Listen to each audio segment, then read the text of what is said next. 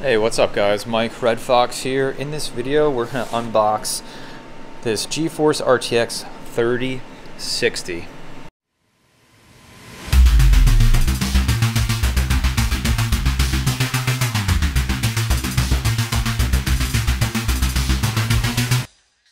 So I already know what you're asking, Mike. Why did you buy this card? It's uh, limited for crypto mining, and you're right. Um, yet here it is, the things I do for you guys. So this is a RTX 3060. It does have a crypto limiter installed. Um, so it'll do about half the hash rate it could on Ethereum. I think ETC hash and I think Verthash I saw as well. But what we're gonna do is get this unboxed, test it out on Ravencoin, Conflux, it's pretty profitable, Zcoin, aka Firo, and uh, maybe see some others. But what I got to do first is figure out where the heck I'm going to put this thing because my test bench, as you guys saw, is full of 3070s. So that's not going to work. And everything in here is full.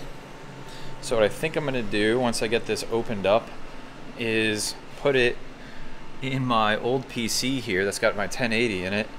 Uh, and we'll test it out in there. So let's get this thing opened and uh, we'll check it out. This is the Gaming X MSI, and it's like the most expensive 3060. I think it was like $500. I got it on Newegg Shuffle. I got selected, so I figured, you know, what the heck, might as well. It'll give me an excuse to mine something besides Ethereum. So let's check it out here.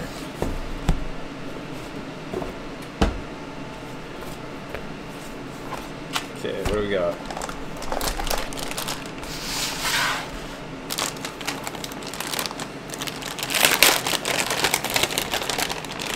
Okay, that is ESD bag, and there you go. So, actually, I was curious to see. This thing's got an 8 pin and a 6 pin.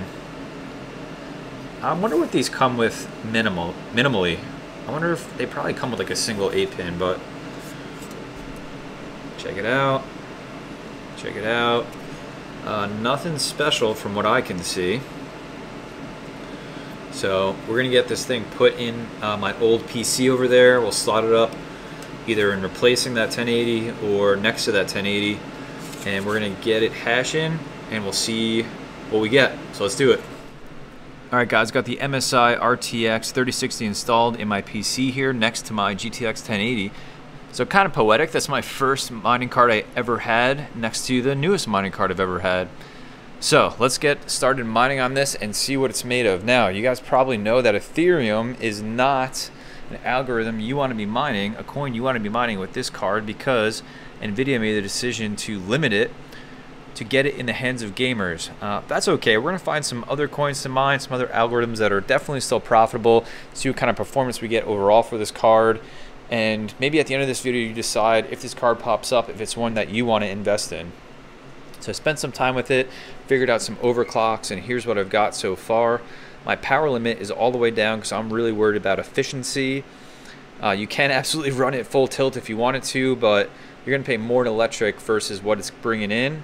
So finding a good efficiency is always good and core clock, I got 275, mem clock's up at 1600, and my fan I got locked at 80% just to keep it nice and cool since it's running right next to the 1080 and they'll both be mining in there. There's just not a lot of airflow happening in there. So these overclocks seem to be pretty good universally for all the coins I'm going to show you. You might have to tweak here and there if you're getting invalid shares or incorrect shares or any crashes. But overall, this will be a pretty good spot to land on uh, if you have this specific GPU. And so let's check it out. Let's get started. So we're going to use T-Rex Miner for the first couple coins that we're going to mine here. And let's start with our old favorite Ravencoin. So this is T-Rex Miner. We're going to start mining Ravencoin with the GPU power limited down to 60 and those overclock set. And we'll see what kind of hash rates we get. And then I'll let all of these run for a while and just uh, bring together what the hash rates are and see what's going to be most profitable. So let's check out Ravencoin. So Ravencoin may be our savior if Ethereum can't get their act together and uh, figure out another way to go besides the EIP 1559. So we'll see what happens there. So we're generating the DAG. All right, so the GPU is doing a little bit of work now. We got what 17.7 mega hash per second, 17.72 mega hash per second. There's one thing that I remember about the Ravencoin algorithm is that you got to let it mine for just a little while to see what kind of average hash rate you're going to get because it can fluctuate quite a bit. But looking pretty good already, 17.72 mega hash. So let's move on from there. And we're going to go to, let's do Firo uh, otherwise previously known as Zcoin.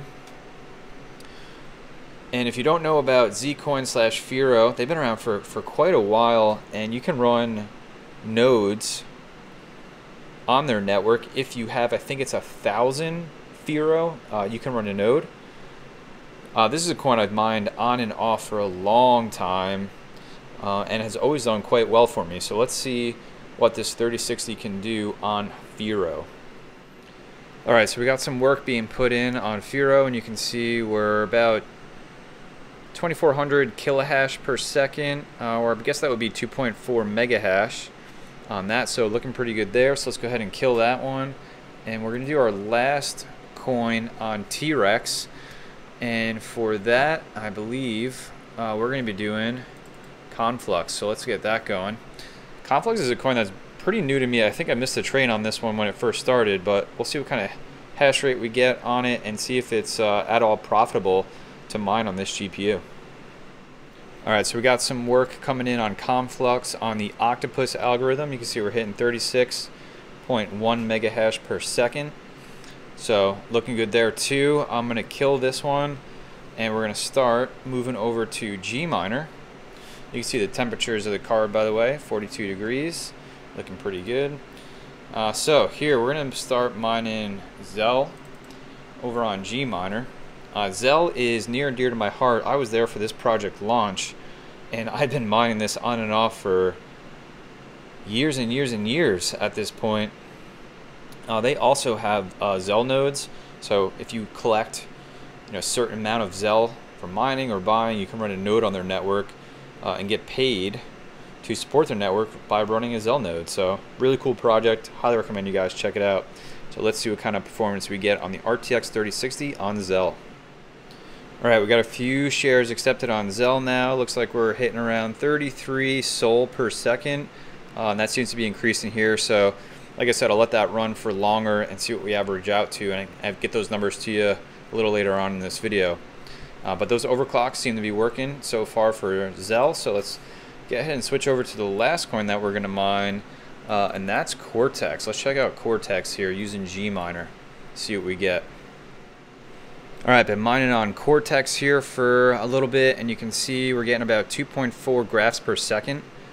And that's going to be the last coin that I'm interested in knowing the hash rates for for uh, this RTX 3060. There's definitely other coins out there, but as far as what seems to be profitable, um, and coins I'm personally interested in, that's gonna be the last one. So those are the five. So what I'm gonna do now is let all of those run for a little while with those overclocks, make sure everything's stable. Then we'll get all the numbers together for their efficient performance, and we're gonna check on what to mine to see what the profitability is.